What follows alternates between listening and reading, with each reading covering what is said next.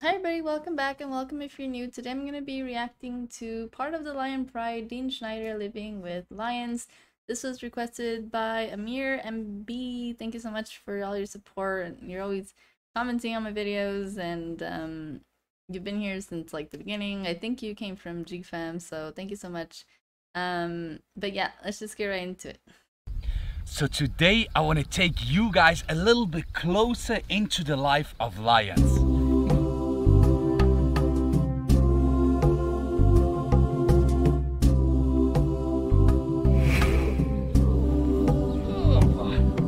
All right, a lot of people keep on asking me how how did I manage to become part of a lion pride? Like... How can I be so close with them at all situations? Yeah. Today we want to go a little bit more into detail. What does this mean? In the world of lions, 90% is body language and only 10% is communication through vocalism or how do you, however you call it like through certain sounds they make like growls or calls or something like that. But every movement of his head of his paws combined with the tail of my eyes. Where do they look? Do i move backwards or to the front? When they approach me all this is constant communication guys. And if you're not aware of what they are telling you if you can't understand them or don't see it that's where the real struggle starts and that's where it gets dangerous. This is the moment where dexter shows the girls oh listen it's over. Oh. look there He's not ready to play any games anymore. And there is a huge difference between being respected and accepted by a lion in his environment or being part of his family, being actual part of his pride. Now, I didn't teach them any language. They don't speak my language. I actually like, came here and learned their language. That's why I have to communicate as a lion in their language. Uh,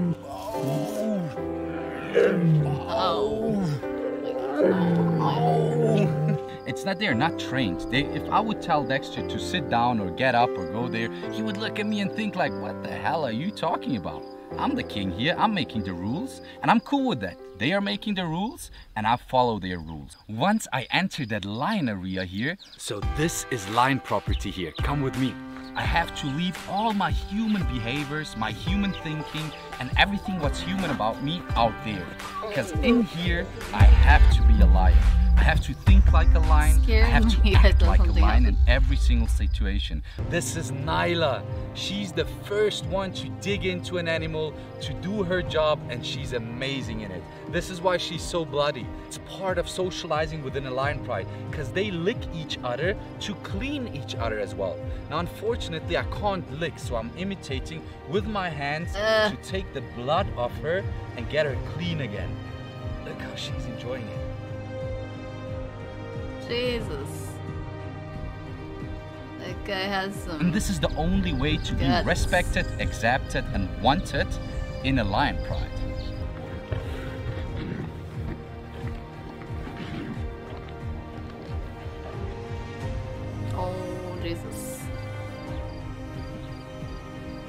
Now let's talk about respect. Now respect is essential in a lion pride, all day long, 24-7. But what does it mean? Respect means to give each other the privacy and the space they need. You often can see that lions lay on top of one another, they love affection and to cuddle, but there is also those moments when, when they don't like it or they just don't feel like it. And in those moments, they will let you know straight away. And if they let you know and you step away and respect that, then you're cool at all times. But once you don't, once you don't follow the rules and you stop respecting or overdo it by dominating one another,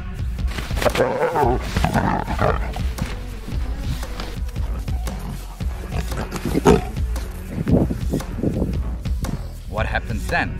No matter if it's between the lions, between males and females, or in my case, even between me and them.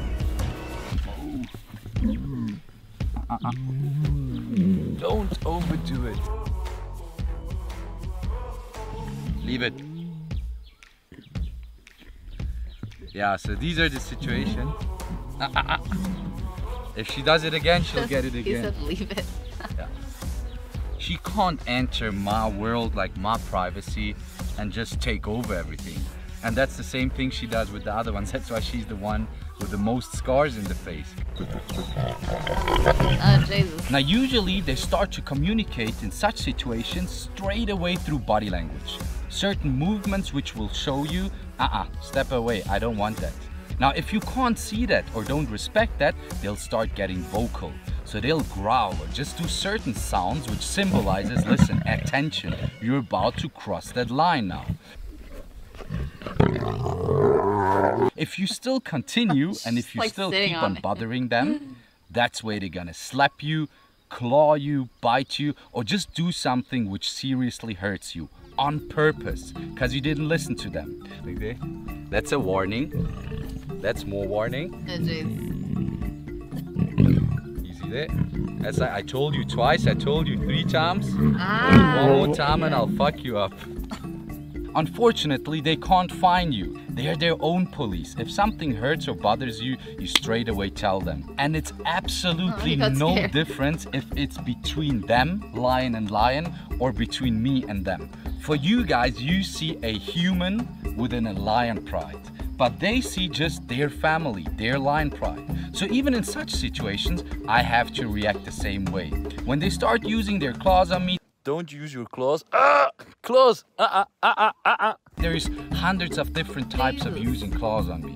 There's some times where they use their back claws, and I exactly know that they don't have full control over their back claws. So usually, if they scratch me like this, I just leave it because I know mostly or most probably he didn't do it on purpose. Ah, ah, ah, ah, ah, ah. Don't think about this. Go there and do that with Dexter. Um, ow, ow. Ow. Ew. Look at this. Just happened right now. But that was not on purpose. That's just a reaction reflex thing. That's why it's okay. Jesus. But if one of them uses their front claws every now and then again on me, and I tell them, uh uh, leave it, no, and they continue, that's where they want to see, okay, who's dominating whom.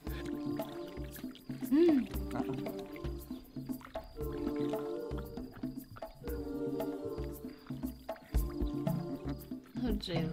And the only thing I can do is use my knuckles, give them a smack, whether it's on the nose when they biting too hard, or it's on the paws when they clawing too hard or something like that.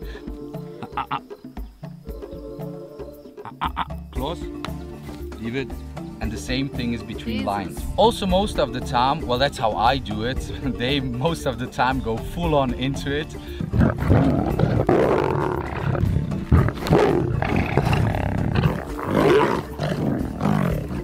I'll just quickly tap on the paws or on the nose so that they know, okay, now I really crossed the line already. And if I don't stop now, that tap is gonna get worse and worse and it's gonna start to hurt.